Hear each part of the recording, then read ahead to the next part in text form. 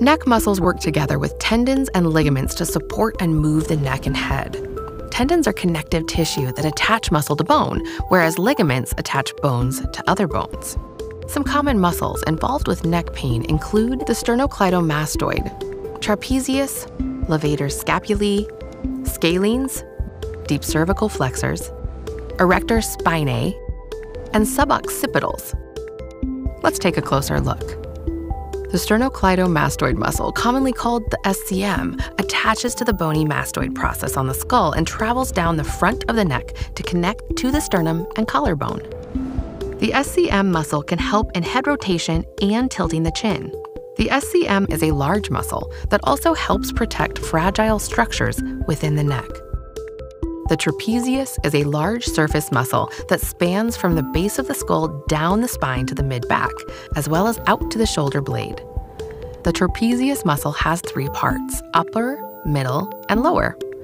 It can help extend the head upward and neck backward, rotating the head or lifting and or depressing the shoulder blade. The levator scapulae muscle attaches to the top four cervical vertebrae and runs down the side of the neck to where it connects with the top of the shoulder blade. This muscle helps with lifting the shoulder blade, bending the neck to the side, and rotating the head.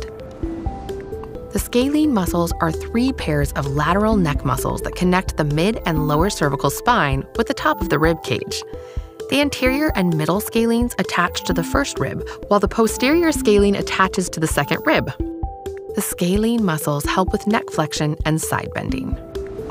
The deep cervical flexors are a muscle group consisting of the longus capitis and the longus colli muscles, which run down the front of the cervical spine.